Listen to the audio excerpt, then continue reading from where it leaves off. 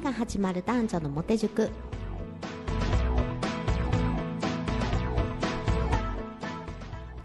皆さんこんばんは毎週土曜日21時開運モテアドバイザーアミの恋が始まる男女のモテ塾何回も婚活パーティーに行ったけどなかなかお相手が見つからないの私には運命の人はいないのかも好きになる人とはうまくいかないのよねみんなね同じようなことで。立ち止まってるんだよラジオではみんなが立ち止まってしまった内容を募集して毎回解決しちゃいます。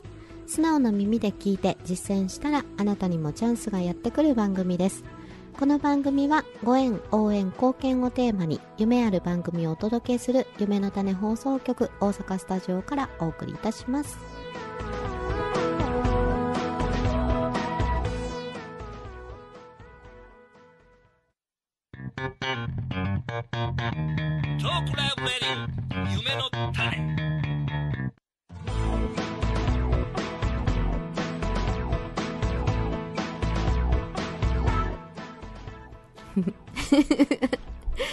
ねうまく言ったわ。じゃあこうねもうこれあのこのさ最初の始まりになってから3回目なんよね。なかなかねやっぱうまくいかないもんよね。でこのねこれ家でめっちゃ練習するんやけどなかなかこううまく言えない中今日の音響さん山田っちを見てると言えた。はい。まあそんな感じでね今日もあの音響さんお願いしております。山田くんです。よろしくお願いします。はい、よろしくお願いいたします。山田くんって、はい私ねちょっと聞きたかったのがあの夢の種のはい。偉いさん？偉いさんではないです。偉いさんではないですけど、えっと、一番、あの、一番の初期のメンバーではあります。うんはい。なんか肩書きがあったよねチーフなんとかあそうですね。えっと、クリエイティブリーダーですね。それそれそれ、はい全然チーフ入ってない えっと、一応音響関係と、はいえっと、ものづくりって言ったらいいんですかね。作るもの関係のリーダーをさせていただいております。なるほど今日もねお付き合いいただいて、はい。拙いラジオになりますがよろしくお願いしますいえいえこちらこそよろしくお願いいたします。はいじゃあ今日はですね、えー、とまずね質問どんな人から来てるかっていうのからねご紹介していきたいと思いますが。はい今日はね兵庫県の西宮市在住の男性ですね48歳で婚活歴は6年目だそうですはい。はいでこのね6年目の男性ねえっ、とね質問内容がねすごい長かったんやけどはい。過去のお見合いで80回ぐらい経験がありますお見合いの90分間ほとんど話せない僕はどこか変なのでしょうか？うーん、なるほど。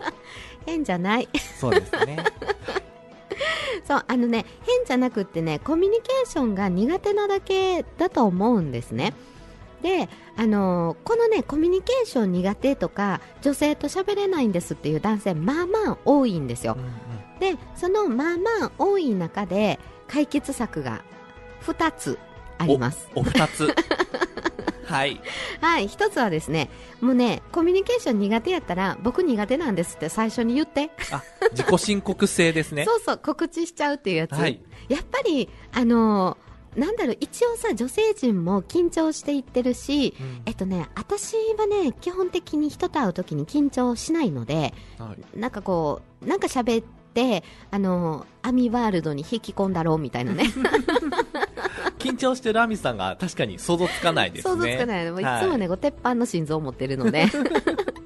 大丈夫なんだけどやっぱりねその普通の女の子たち私じゃない女の子たちはそれなりに緊張してきてはると思うし何回もお見合いされてる女性になるとなんかねまあ、今日もあかんのんかなっていうなんかちょっとこう残念な気持ちでなんとなく来てはったりとかするんですよねなのでちょっと男性に依存しちゃってるところは正直あります自分が楽しませようっていうんじゃなくってはい。相手に楽しませてもらうっていう感覚でお見合いに行っちゃってるああ、なるほど。ってはいい。う方すごい多いので、できるだけその男性が喋れると一番いいんだけれども無理なんやったらいやもう僕正直ね女性と喋るの苦手でねって最初に言ってくれはったらほんならまあその女性陣もさそのああそうなんですねっていうところがいや私もちょっと苦手なんですよねっていうところからさちょっと夫婦とかってなって話していけるわけやそうですね。肩肘張らないってことですね。そうそうそうそうそうでね、まあ、会話ってねやっぱりあのキャッチボールってよく言うと思うんですけれどもあのねお見合いの会話は尋問でええんちゃうかなと思ってるんです。お 取り調べ的な。そう。あのだってさお見合いってあの釣り書っていうのとかがそのネットとかに全部上がっててはい。顔写真も見た上でやってくる2人なわけやん。うんうんってことは顔 OK でまあそのいろんな住んではるとことかなんかそのいくつとかいう条件もある程度クリアしてきてるわけやん。そうですね。なあと何が聞きたいって言ったら喋った内容だけやんうんうん。でまあ個人的に思ってる質問事項はい。あのこの人、まあ、その釣り書にさ好きな食べ物とか書いてないかもしれないから そねこの人何が好きなんかなとかさうんそういうなんかもう本当にあの軽い質問が聞きたいわけであってはい。別にその初っ端からねじゃあ結婚した時にね私はあの専業主婦をしないとダメですか？みたいなそんな質問しないわけやそうですね。らもっと軽く考えていただいて、はい。簡単にいろいろ聞いたらいいと思うで、私ね、そうそう、昔ね、い何回かお見合い感覚的なことをしたことがあって、はい。その相手さんが質問リストを持ってきてた。リスト？リスト。めっちゃ書いたんねあ、めっちゃ書いてきてるなんですね。めっちゃ書いたんそれをなるほど。はい。2枚渡されて、私用と彼用と。アンケートみたいです。アンケートみたいな、街角アンケートを答えてきてんけど、はい。それね、いい方法やと思ったんです。そうですね。そう。やっぱり、あのーなんかこう、何喋ろうって考えてると無言になったりとか、なんか変な質問をしちゃったりとかしてしまうと思うので、あらかじめ聞きたい内容をリストアップして持っていくのはあり。で、渡し、て、お互いに、あの、じゃあ1番からみたいな。いや、その人そうだったよ。じゃあ1番から質問させていただいていいですか？みたいな。で、兵庫県在住って書いてあったんですけれども、あの、どこにお住まいですか？とか、な伊丹市ですって、あ、じゃあ誰々さんは？って聞いたら、あ、僕は例えば門真市です。とかいう、なんかそう、アンケート？アンケート、街か、あ、お見合いアンケート。お見合いアンケート、綺麗に答えて、結構な数答えたからね、90分話が持ったのよ。うーん、あ、でもそれだけね、用意してきてくださると、そう。ありがたいあですね、りがたい。逆に。うん。でもね、こっちからもほら、それそのまんま返せるそうですわけねやしね。キャッチボールですね、文字通り。それ怒涛のように質問されると尋問に変わっていくっていう。ね。あとはタイミングとか、まあとかですね。うん。やっぱり間はね、大事だと思うので、うんあの、まあ私ラジオはもう怒涛のように喋り続けるけど、えっと、なんていうのか、私ね、間をね、取るのはあんまり得意じゃない方やと思うんですよ。はい。あの、もう突っ走って喋りがちな本、プライベートでもね、なんだけど、あの、山田くんの間っていいよね。ありがとうございます。なんかこう言っ、ていただくと。私が喋ると、うんって一回こう、汲み取って、呼吸を置いてから喋りはるみたいなあ。りがとうございます。そう言っていただけるとありがたいです。ね嬉しいです。なんかそんな感じのことをお見合いでしたらいいだけやんっていう。そうですね。うん。一応、その、まあということに関して、まあ僕が、まあちょっと今ね、アミさんから言っていただいたので、気ぃつけてることといえば、こっちから言った言葉に、うん。相手がうなずいてから喋るうーん。ようにするうん、うん、うん、うん。っていうことは気にはかけてます。あ、それいいね。そうですね。え、うなずいて、まあ、なんか言われて、はい。うんって言った後に、かい、まだ喋り出すっていうことね。そうですね。うん。あの、耳を傾けていただいてるかどうかっていうのが、それでよくわかるので、これってこういうことなんですけどって言って相手が、逆に間を空くとうなずきやすくなるう。ところもあると思うんですね。うん。なるほどね。すごいね。ありがとうございます。いえいえいえいえ。すごいね。コミュニケーション講師できるやん。いえいえ、もうまだまだね、いろんな、ここにはす、あの、いろんなコミュニケーションの達人がたくさんいるので、僕はまだまだですけど。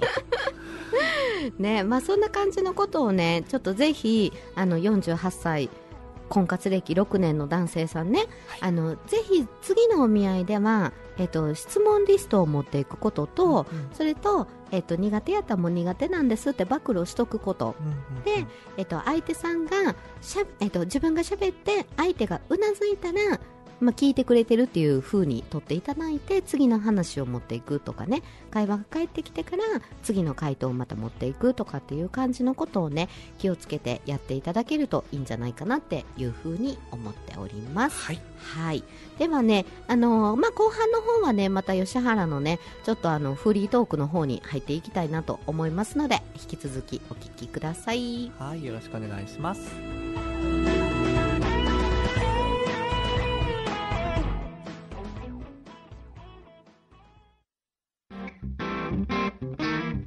Living a dream 夢の種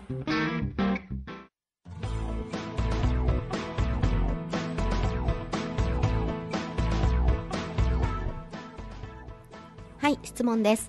はい。早速質問が。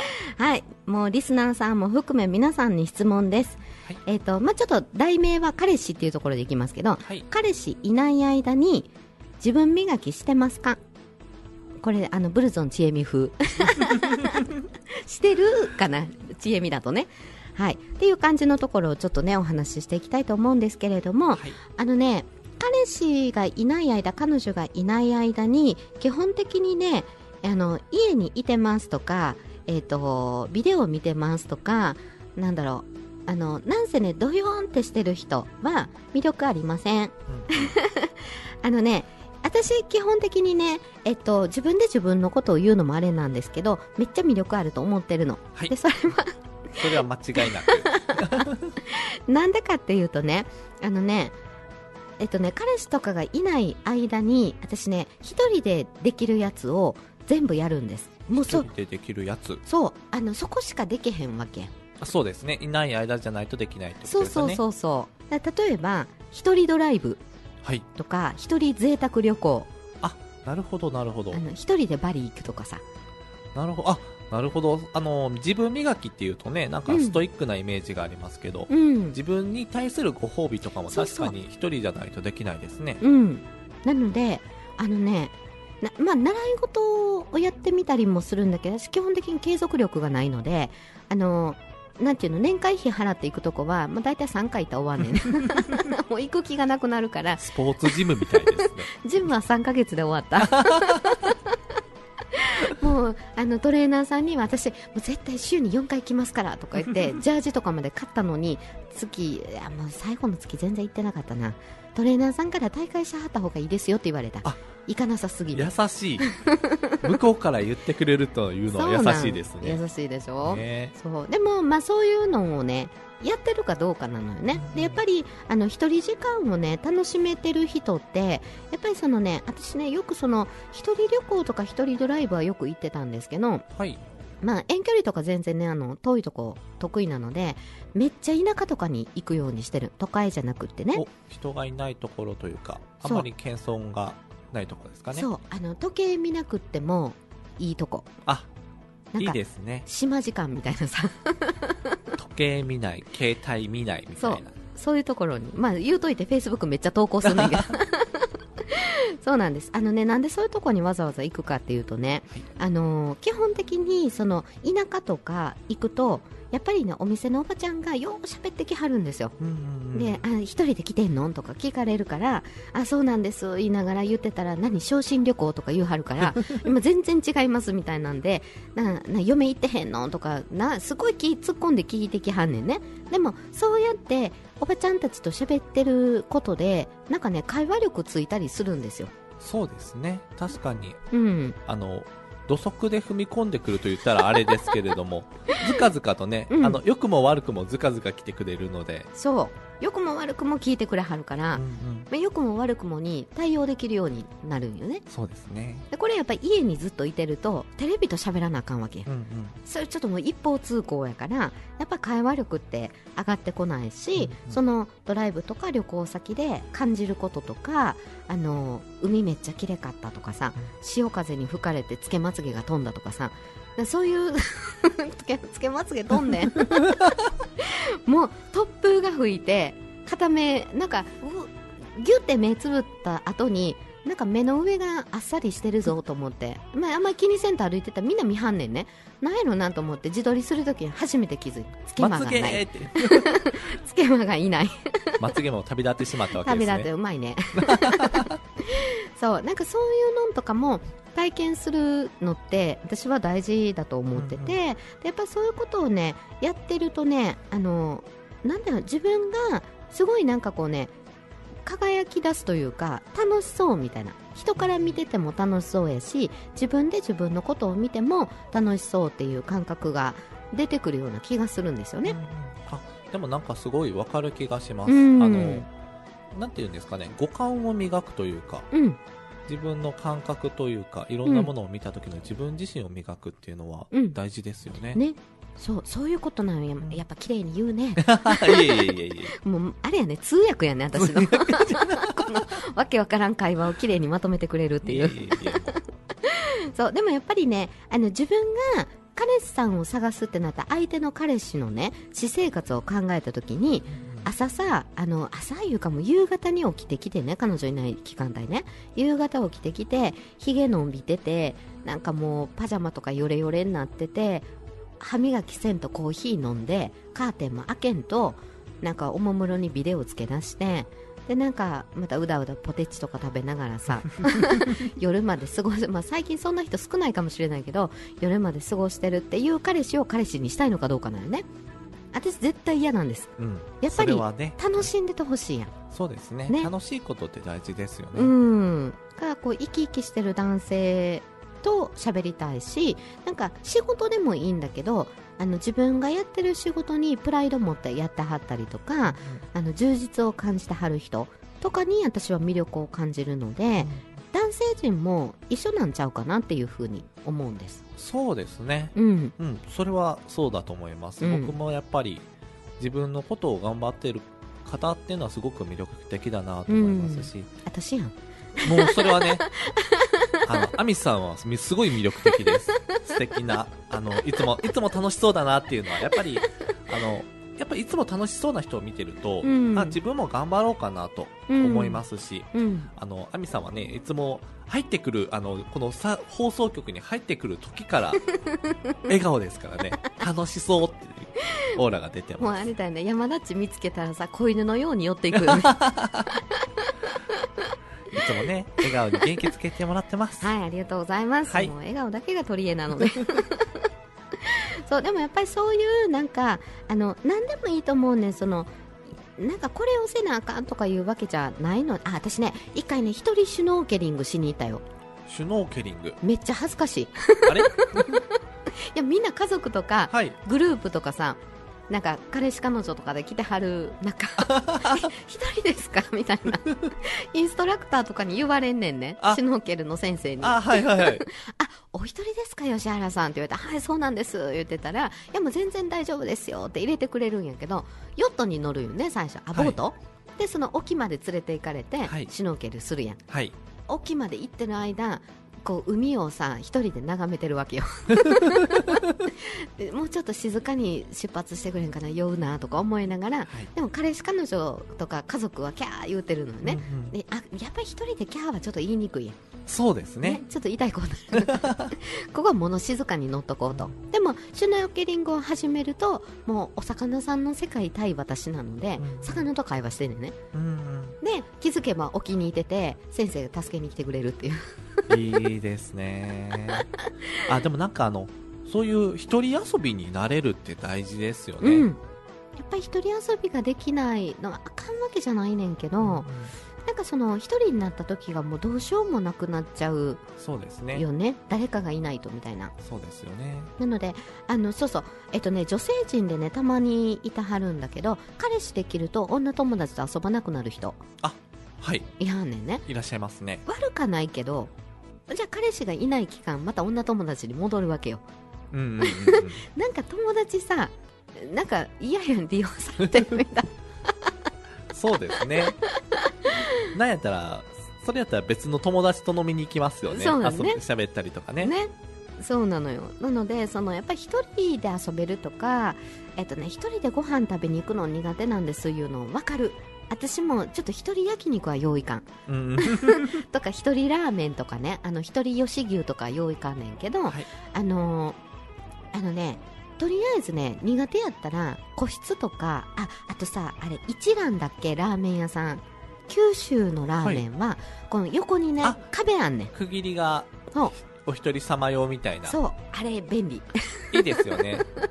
秘密感が。そうまあまああのずるずるやってても大丈夫っていうのとかあと一人カラオケも楽しかったよあ、そうですね。そう一人カラオケはハマるとまやばいですね。一人カラオケもうほんま最近あの年末前ぐらいに行ったんだけど、一人カラオケしながら皆さんこんばんはって言ってるね ちょっと練習しとこうとか思っていいですね。楽しんでますね。めっちゃ楽しかったでその時も山盛りご飯頼んであのお店の人に「え食べれます?」とか言いながら「いや食べれます」ってほとんど残してんけど いやなんかあのちょいちょい食べたいよねご飯もでいろんな種類食べたいからあの時ね8種類ぐらい頼んではい。吐きそうになるぐらい食べた食べながらカカラオケを歌っケて、カラオケのご飯、そこそこ容量でかいでそこそこすから、ね。容量はね居酒屋さんよりは多いですかそうらね。あのギガポテトとかあんなん頼むね それ 8, 8個は多いですね。そうでもまたそれをね楽しめるかどうかやねそうですね。ね一人でショッピングとかもうありきたりなことじゃなく一人の時にこそできる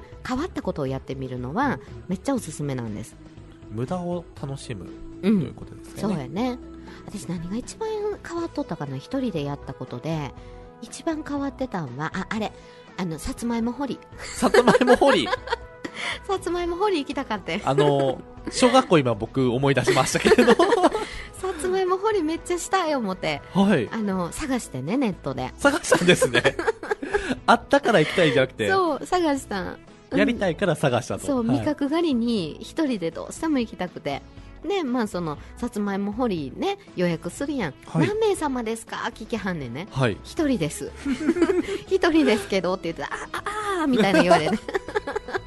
ダメですね。あの、その、お店の方もお一人様に慣れていかないとダメですね。ちょっと慣れてほしいよね。すねあ。の、さらっと言ってるからね。でもまあまあ緊張して電話してるから、さらっと答えてほしいよねそう。ですね。そう。でもまあ行ったらね、すっごいウェルカムで、あの、ジャージとかもね、ちゃんと着替える場所もあったりとかして、あの、さつまいも掘りして、多分私ね、6キロぐらいにさつまいも持って帰ってき6キロ ?6 キロ ?6 キロって重たいですよ、た。飲んだよ。だいぶ。車で行ってたからねあ。なるほど、なるほど。これ掘れるだけ掘っていいんですか？って言ったら、どうぞ言ってくれて、その、一人一む胸っていうの？あれ。一胸になるんですかね。僕もよく知らないんですけど、はい。ちょっとこんもり山になってる。あの、一行くれはんねあんね。なるほど。でその端から端まで掘っていったらさ、はい。ものすごい量、収穫に来たみたいになってて。そうですね全力ですね。どんだけ腰痛かったか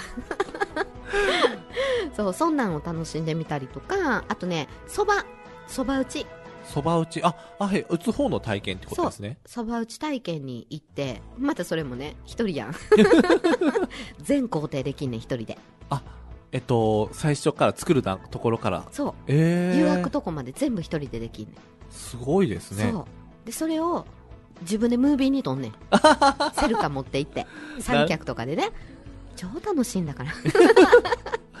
でもこれ、あの、やってみたからこそっていうのはあるんでしょうね。うんうんうん。あのーさつまいも掘りなんかはもう土、うんあの、言ったら土掘って、芋取るだけですけど、ん。何が楽しいって、あの、土を触るのが楽しいっていうのは、やっぱり体験しないとわからないことですよね。ねあれね。ミミズとかめっちゃ出てくるからね。ね、いい土ですね。せやねんけどまあまあ気持ち悪いやん。そうですね、うにうにしますね。うにうに。するやん。で一人でさ叫ぶやん。叫んでる自分がおかしいみたいなそうね。そうそんなんとかをねあのぜひ体験していくとねもうなんかほんまにその感覚先ね山田っちが言ってた五感はい。がすっごいなんちゅうの豊かになるというか、あのなんかちっちゃいこと大したことなくなるし自分も穏やかになったりとかもするし、人があのなんかやってることとかを見ててもあいいやんやってみって言えるようになったりとかね、そんなことになってくるそうですね。うん。なんか僕もやっぱりものづくりしてるので、うん。いろいろ五感使う人間なんですけど、うんうん。一つの感覚しか、例えばずーっとテレビばっかりしてると、うん。日常がすごくイライラしやすくうん。なるんですよね。うん。視野が狭くなるといううか。ん。なので、そういった五感を解放するというか、五感をどんどん使っていくっていいですよね。そうやね。はい。そうよね本当に。